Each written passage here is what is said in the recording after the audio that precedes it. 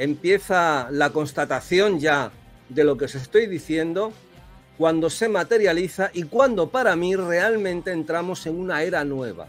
Se va la era de Piscis, entra la era de Acuario, entra Yo Robot directamente, pero debéis seguir esperando porque vamos a ir directamente hacia ello. Veréis, el tránsito de Plutón en, en, Acuario comienza el 23 de marzo del 2023.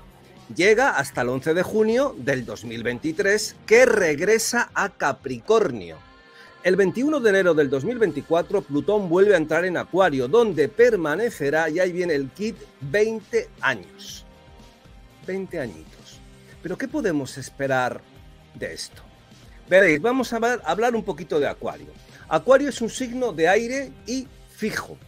A nivel energético, en Acuario vemos la solidificación de ideas, la fijación de ideas.